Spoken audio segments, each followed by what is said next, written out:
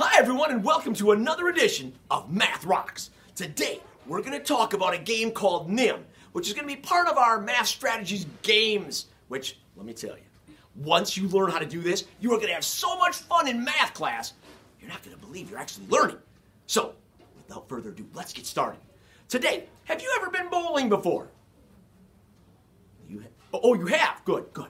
Now, in bowling, there are 10 pins. So I'm going to put some bowling pins up here. Just, take a little look at them and see what they look like. So we'll start with our head pin right up there. And then, of course, after that, we're going to put two more up here. And then we'll follow that with three. And we'll finish it off with Mr. Red here. And that'll give us four in the bottom. What you have here is a typical basic NIM board. Now, to do this, you might have watched one of our other shows called Count to 20. This game is just like that. It has the same concepts, just that you can maneuver these chips. So here's some of the basic rules to NIM.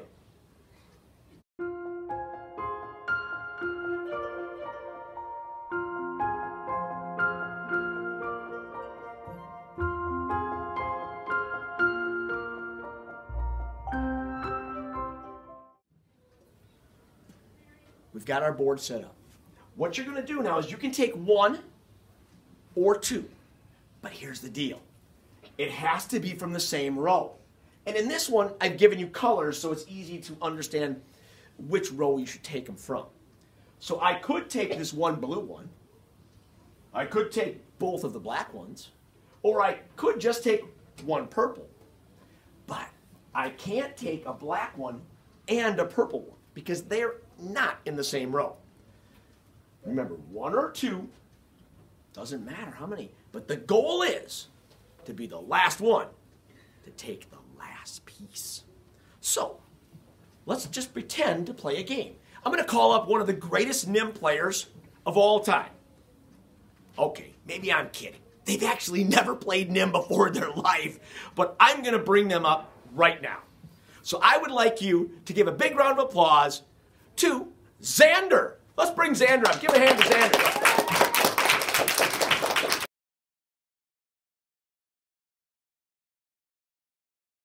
And now remember, you can take one or two from any color, but not two different colors. That's against the rules. So, Xander, you can go first. You race one or two from any color. He is going to take the red. I am going to get rid of these two blues up here. Now Xander can take one or two. He is getting rid of two reds. Hmm. I am going to take one purple. Now, Xander. Now, he can't take this here. He can't take this. He can't take these two. But he could take these two. Well done.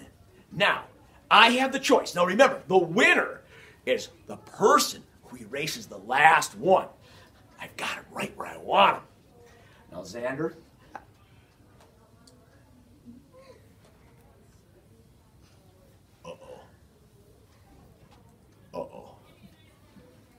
Kind of in a situation here, aren't I?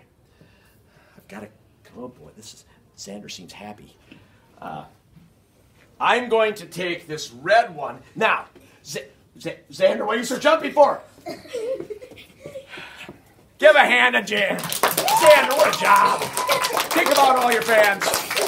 Nice job. See you later, Xander. Get out of here.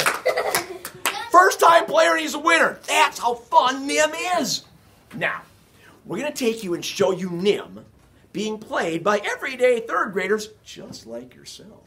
Unless you're a second grader or a fourth grader, then they're different. So, I'm going to take a pause here, we're going to take you to some real live NIM games. We'll see you in a bit. Okay, so now we've moved over to some of our tables, and you can see now what our NIM board looks like. Basically, I have a sheet of paper, and I've taken some Unifix cubes and put them on the colors, keeping the colors there to help them know which row to take from.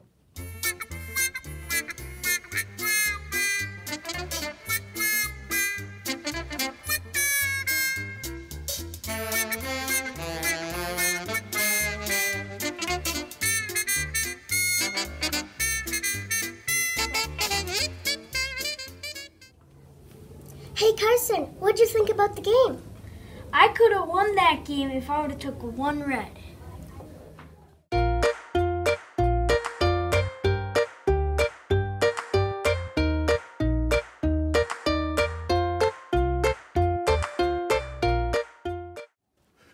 Hold everything! I think I saw a mistake. Let's go back and retrace what just happened.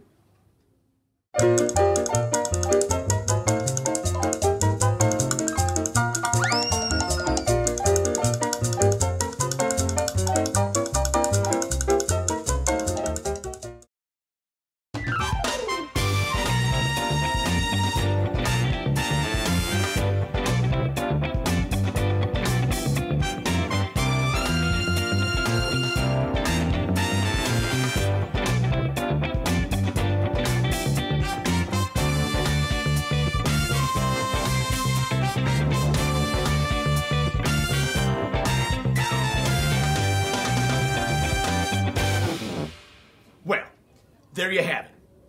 NIM, a great math strategy game where you can think how to outwit your opponent into being the one who takes the last piece. Now, if you want to get more challenging, add a fifth row or a sixth row or change the rules where you could have up to three pieces taken. It's a never ending game that can never stop.